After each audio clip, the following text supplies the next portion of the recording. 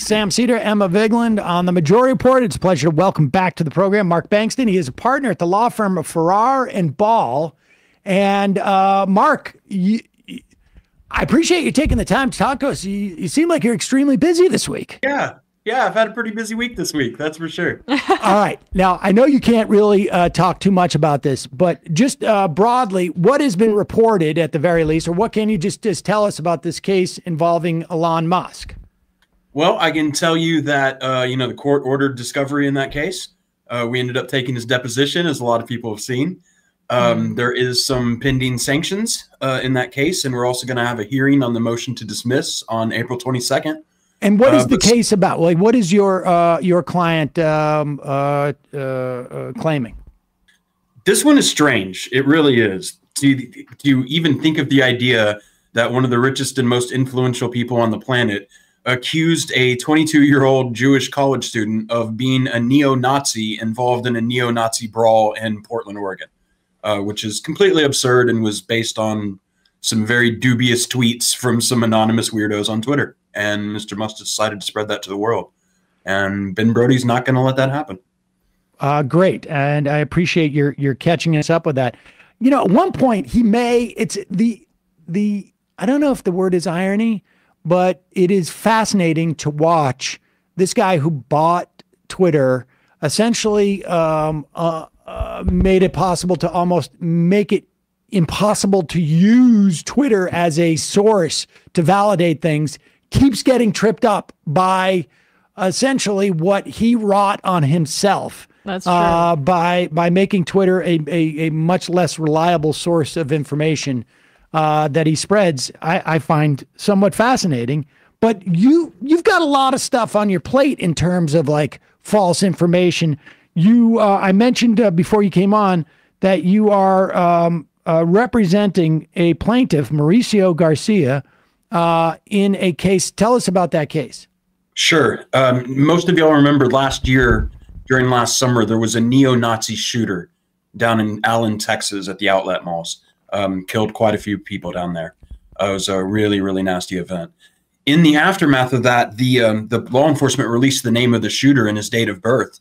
Uh, but several media organizations, sort of in their their haste to try to get a story out, uh, labeled the wrong person not even the right birth date um, of my client Mauricio Garcia put his face out to the world.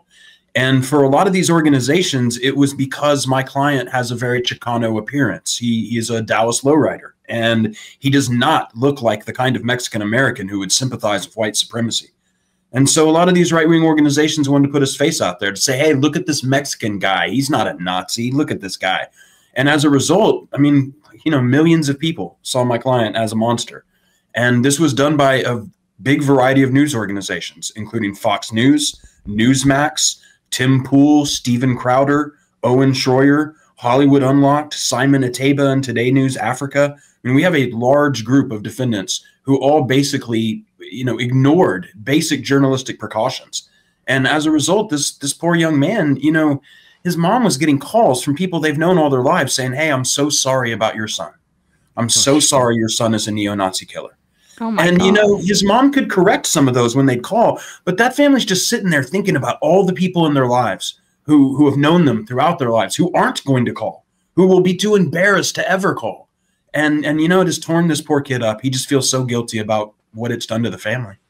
And do, do you know where he, uh, the conflation of your client with the actual neo-Nazi shooter uh, originated from? What like, it was on social media, and and it looks to be on Twitter is, okay. is where it first started. Gotcha. And then, you know, it was it was originally just social media people getting it wrong, right? Having the wrong identity. And then it was these commercial media organizations who are expected to have institutional guardrails against this sort of stuff. I mean, photo verification is not a challenging thing to do as a journalist. If you can't confirm the provenance of a picture and know what it is and where it came from, you just can't put that out to the world, especially if you're going to try to say it depicts a neo Nazi mass murderer. And so, really, you know, there's not much we can do about just random people on social media. But these commercial enterprises that are profiting from the provision of news, they have to use reasonable care. And what we've seen is that the bigger organizations, like in this case Fox and, and Univision, they they've just done away with their institutional guardrails because it's just costing them too much money. And then you have these new, you know, people like Crowder and Pool who are running these low cost operations who never cared about the institutional guardrails to begin with. So the entire media apparatus is failing from top to bottom. This isn't a problem that's just isolated to one kind of media.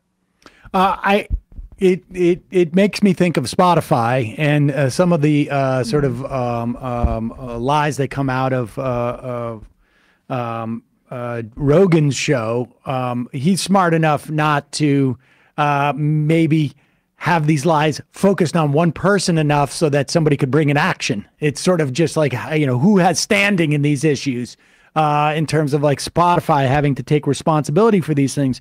But the thing that really stuck out for me um, in reading your uh, um, the uh, the plaintiff's petition is in each of these instances, it seems, um, and I think I read all all of the the defendants.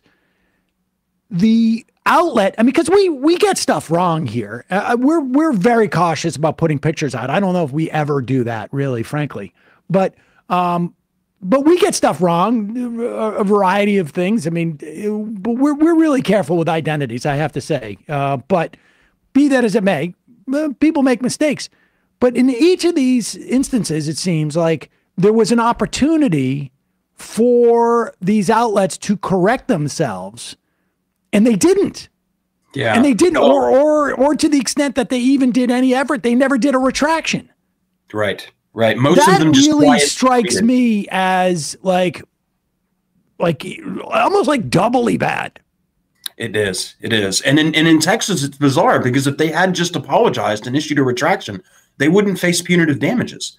But they all made the decision in this case not to apologize for certain broadcasts. And you know, in some of those it makes sense. Some of them, you know, are just not going to respond to you. Some of them did, and we had discussions, and they deleted the articles quietly, but didn't print retractions.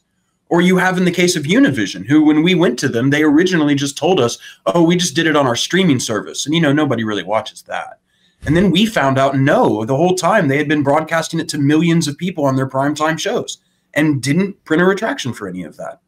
You know, it, it really is strange. And, and what was really strange is that most of these defendants were represented by counsel when we were talking to them.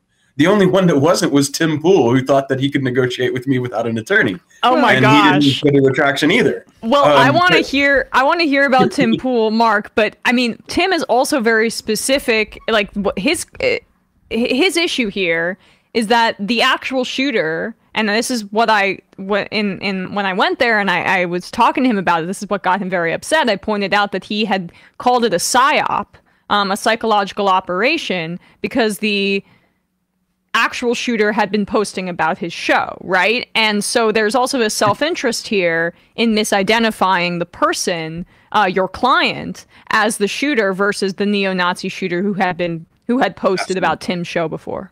Absolutely. Well, you know, it's like I, I had pled in, in the Musk suit is that if, if you're a right wing extremist tastemaker these days, you face the problem of how do you react to the more embarrassing public incidents involving some of your extremist fan base. And in the post-truth world, the easiest solution is just to deny that they're real. They're they're fabricated boogeyman by left-wing interest or something like that. And it's the same formula here. You know, even in this case, Elon Musk was talking about psyops and the whole thing. And that's what makes this more damaging is that if you have people like Pool and Crowder telling their extremist audiences that this is fake, right? He's not a neo-Nazi. Then if they see later legitimate news that that shows the real identity of the shooter, they're not likely to believe it. Hey, that it becomes very difficult to remedy this problem. That part, is, I, I, I want to read some uh, uh, from the from the pool thing in which in this filing, uh, but that part which you, which you just touched on, the idea that they are actively in the context of these obviously I, I, don't this isn't actionable in in in uh, from you but i wonder how much does that aspect of it enhance their culpability or their liability within their case. The idea that they are not only making a mistake, the idea that they are also not issuing a retraction, but then are actually building in a an excuse or an alibi for themselves in a more general standpoint in that like if you hear hmm. that we're wrong understand that is part of a big operation that is supposed to smear us. So they're building in their alibi. Does that implicate your case in any way? Does it show intent or does it show um, is it is it more punitive? Are there more punitive damages? What or, or is that just like a what what does that show in the context of your case? Really, where it comes into play is the damages that the client suffers, right? Because if there's a defamation out there, then then one of his ways to do that is either through self-help or through corrective media for people getting it right. And if you have an organization that's actively undermining those efforts, that is saying don't believe what you see on these mainstream networks, we're the ones telling you the real truth. Then when that truth gets out, it's less likely to hit people's people's opinions. So the actual reputational damage to my client is somewhat hindered by what you're exactly talking about this built-in ex- escape hatch that if they're wrong, when they're corrected, they can just say, well, that's the fake news. Don't worry about them. It makes the right? defamation that much more durable. And so exactly. it increases the damages that your client's mm. suffering because they can never recover in some ways because of other things that the, the these guys have done. That's that's fascinating. I mean, look, it's the same in the Sandy Hook case. To this day, no matter how much the volume of reporting that this really happened, there are still people who are absolutely stuck in drinking that Kool-Aid of thinking anything mainstream media tells them is wrong. So it really poses a challenge for these kinds of people who've been hurt by this. This stuck out for me in the Tim Pool uh, um, uh, because, and we should just say, when you, people are looking at this um, at the uh, original petition, and you can get this online, right? This is available online. That's um, a public document. And uh, uh, we're, you know, and you have it for each one of the uh, defendants here. Um, this is paragraph 84 if people want to follow along at home. And I'll, I'll, just go ahead and say, if you need to grab a copy of the petition, uh, uh, Huffington Post has put one up. So Sebastian Murdock did a story on it today. And feel free to post this on uh, on social media, folks. I know uh, the folks, um, the defendants, love the publicity. Mm. Uh, 84. Pool also claimed on Timcast IRL that he did not want to so show the social media photos. Okay, so this is to be clear. Somebody, uh, the um, there was a a a second sort of like release of photos of the actual um, uh, guy who perpetrated this, yes. not your client. That that was released subsequently on a different site, and this is where Tim Pool decides to act responsibly. this is what's fascinating about this. He's already shown the picture of your client; it's already out there, and then um, the actual picture surfaces and Pool claims on Timcast that he did not want to show the social media photos, quote, considering the sensitive nature of these things. So he's already shown the false pictures. And then when the real pictures show up, he doesn't want to show them because it's sensitive. And thus did not show any of the pictures, uh, uh, the photos of the real shooter. Pool also chided Bellingcat researcher Aric Toler, who published the real sh- shooter's social media profile and photos, claiming that Toler didn't verify it. Now remember, Pool has already shown the unverified photos of the non shooter, but is now uh, attacking someone for showing. And this is all, all this does is makes it harder for your client to recapture his uh, reputation. All yes. of this just makes yeah. it like a steeper climb to get back to, to whole or even close to it. And yet, at the time Pool made these comments, Timcast Media Group had already published a completely different, unverified, and incorrect photo of the plaintiff on its website. Uh, and then, uh, in addition, Timcast news reporter Josie uh, Glabach, known on Twitter as the Red-Headed Libertarian, posted several tweets declaring that the event was a psyop. Mm. And so that none of this happened. So they have now blamed it on the wrong person and then said that none of it happened and that Aric Toler was a CIA operative. does does Toler uh, like uh, I, maybe Toler has an op, uh, uh, uh, an action? Each of the tweets garnered an uh, enthusiastic reply from Elon Musk. So this guy's just like you, you, bump into Elon Musk all the time now. As soon as you're doing yeah. the research, we, we got to keep meeting like this. Yeah. In the following days, Musk repeatedly claimed the event was a psyop, and the mainstream reporting on the shooter's identity was a lie. Um, and then uh, Pool continued to promote the idea the shooting was a government conspiracy. So that's all basically just like you think you're going to get your reputation back in the future? Here's my alibi, and it's going to make it harder for you to get that reputation back. And then Pool, according to this, um, quietly did take down the pictures, but never offered a retraction. And, and that returns to my initial point of it being that additional self interest of that connection of the fact that the sh- real shooter had posted about Tim's show. Right. Yes. And yes. does- and when you go to to court, does him pulling uh, pulling down the photos, but then deploying this whole psyop uh, story simultaneously, does that show more intent?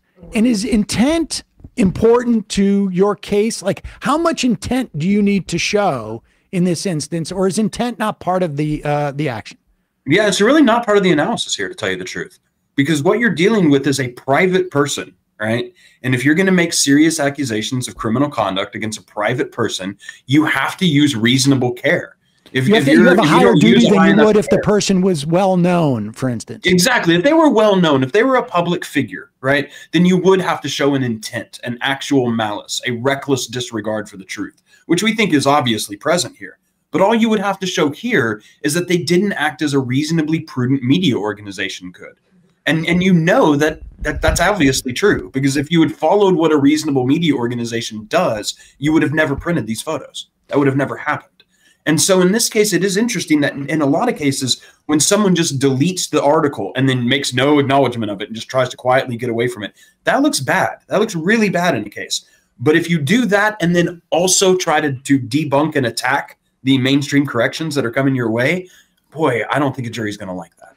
And don't think so. and and does that intent i mean if you could show that intent to that level of sort of like backfilling and uh, attempting to protect is that become a more of an issue of damages and compensa- and, and, and restitution than it does in terms of liability in the first place so i just Well, want people to one of the things understand there's, facing, there's well, a liability challenge- and then damages right i mean that's those are exactly. the okay Exactly. And and one of the things you'd normally be facing as a challenge is that if you wanted punitive damages in a case like this, you would have to prove some extreme reckless disregard, right? But in this case, because none of these defendants complied with the retraction statute and because they did not issue apologies, in this case you can recover punitive damages without a showing of actual malice. So that's a prima facie, essentially, uh, show that they're acting in that manner. And so, wow. Yeah, if look, if these guys negligently did this, uh, this jury can award punitive damages if it thinks that's proper, and and I think certainly this is the kind of case that that screams for it. Do you, um, I mean, what, where are you in this case? I mean, I guess you just filed it. So the process goes at this point, a couple of defendants are going to come and go, like, maybe we can make a deal. Uh, right. I mean, I, I would imagine, like, I would Hmm. imagine, who knows? I would imagine a lot of these guys are going to run and say, like, uh, I'm willing to make a deal, or at least their insurance companies are. Well, you got to understand some of these people might not be insured, Oh. and some of them may not have insurance co- policies that cover intentional defamation. Oh. Right, so you, you get some issues there. Who, And then who, with some of these- who would issue a an insurance policy for intentional defamation? Exactly to them. Yes, exactly. and, and and does Elon Musk responding to this and calling it a psyop just for the eh, within this case amplify your client's uh uh, sta- uh I guess case here because of his stature? Absolutely. So when when you have these right wing outlets who are kind of creating this buzz in the right wing media, which is not just Tim Pool, but also people like Crowder and Schroyer and Simon Ateba, when these things start bubbling in that right wing ecosphere, that's where Elon Musk spends most of his time. And so when he starts promoting that to the world, these very messages that that were generated by these defendants are getting to far more voices and far more ears than they would before. And so, even though in this case, you don't have Elon Musk doing anything to my client, but because he was following along this narrative that was being born on Timcast, that this was Hmm. all a psyop, this really does hurt my client's ability to make himself whole again. Yeah, so theoretically, if Elon Musk were to have amplified a claim by someone like Tim Pool calling someone basically a pedophile, um, that and Elon Musk were to have responded to that, that would have, you know, also kind of fall under that standard as well. Absolutely. I can't imagine who we're talking about, but Yeah. yeah, that's Would uh um uh would let's just hypothetically say like one of us or either of us be considered public figures? I mean, if we're on uh, on YouTube, I Yes. guess we are. You would have to know that what you were saying was um, not based in truth, right? You would or, have. Eh, you know, people people frame it that way that it requires like a knowledge of falsity, but what it really requires is just a reckless disregard for the truth. So, so if, if you had no evidence whatsoever for that claim, whew. and you and, and and if you have a claim that's just inherently improbable, you know that it's probably dubious. You know you should look into it. Those those sorts of things make malice as well. So some people describe malice as the, the kiss of death in defamation suits that if you have a public figure, oh, you're never going to win. I just don't believe that's true. Um, and partially that's because the nature of defamation in the last 10 years has gotten so much more malicious than it ever has been in our culture. Interesting. Well, maybe, uh, maybe you should find a lawyer. Um, but uh, we can talk about that another time. Um, so, okay. So what, give us a sense of like the timeline here. When, sure. um, like, uh, this was released two weeks ago. Um, and well, it was filed two weeks ago. Filed Correct. two weeks ago. And so is this, and when it's filed, are, I would imagine at that moment on that day, um, the defendants are notified. Is that right? Not, no, not actually not. So when they're filed, some of your more sophisticated defendants will pay docket monitoring services to know that they were sued, right? So Fox, for instance, is going to probably know on the day it was sued. But these other defendants have to wait until citation comes back and then service of process happens. And so it was this week that most of these defendants had a service processor, really? a processor Which show up day? at their doors. I mean, let's say I wanted to get a sense of like when, I mean, is it is it public knowledge as to when these uh, people were serviced? Uh, it, it is now. I'm telling you right now, it is. and yes, that the, so, uh, the majority right, well, of just them, out of curiosity, what day was it that let's say yeah, Crowder, it was most of this week was Tuesday through Thursday of this week. Tuesday through Thursday. Uh, mm-hmm. I, maybe we should go back and look at some shows and see how like uh, uh like uh, how sweaty people were. That would be very interesting to do. um, but yeah, we, you know, we filed the suit a couple weeks ago. We've obviously we we sent letters to the offending parties within two weeks of this happening back in May of last year. We've been involved in long periods of negotiation and long periods of of making sure everything's set and ready to go for the suit. Um, we filed the suit a couple weeks ago. We've accomplished service this week. We're announcing it today. When the defendants answer in 20 days from now, uh, they'll have about 60 days to move the dismiss the suit, and we'll go through the same process we're going through in the Musk suit. We'll probably have some discovery, depositions of these folks, uh, and then they'll try to dismiss the case, and then the court will say go forward or not, uh, and then we'll march forward into discovery and try to get a trial date. All right, so Bradley, get the calendar out by the end of April. They've mm-hmm. got to uh, respond, and then they have 60 days in to file like a motion, uh, a, a, summary motion to dismiss based Correct. upon whatever their theory is. And then right. you move into discovery and whatnot. Um, do you have any type of program or internship that I could apply for so that I could be there for discovery? Uh, well, uh, you know, um, most Do of the world need an intern. Luckily, I got enough of those at the moment. Um, you know, most of the world knows by now that I have very strong feelings about transparency and litigation, and that I believe that more public attention to the court process and what's happening is good for the justice system. And therefore, anything that's a public record in my cases, um, I, I not only you know direct the media to where it's at, but I encourage them to report on it. And in this case, you better be sure that we're taking these depositions and doing this discovery. Uh, we will fight as hard as we can to make sure that the public interest is met and that these people can see what is happening in this case. You know, look, there may be some trade secrets or something like that. They get sealed up from here and there. Or then again, you may have it like a situation like Alex Jones and Elon Musk, where the, the lawyers fail to get a protective order and it just all automatically becomes public. But I can tell you that one way or another, the information that's critical for the public to know to understand how this defamation happens, we're going to get that into the public eye. Um, so y'all should be looking forward to that in the next couple months. All right, great. I'm still not giving up the uh, dream of becoming an intern uh, for you, but we can talk about that maybe. Uh, Go ahead and we'll, send me over a resume, and we'll, we'll I will send you a resume. Um, one year of law school, you know. I went well, to one year of law school. I did, did my uh, civil pro uh, uh, cases. So um, this is not an interview, Sam. Okay, all right. I just. Um, Do you want to know where I see myself in five years? right, exactly. Yeah. What, what would you say is your biggest weakness, Sam? Hey, well, I got a lot, but we don't have time for that now. Um, uh, so um, uh, we will keep our ears open. Uh, Mark Bankston, uh, partner at the law firm Farrar and Ball, folks, doing the Lord's work. We will put a link uh, to the Huffington Post publication of this uh, of this petition. thanks so much for your time today. Thank you for your work. yes. really appreciate it. Always a pleasure to come talk to you. Thanks. Thanks, Mark.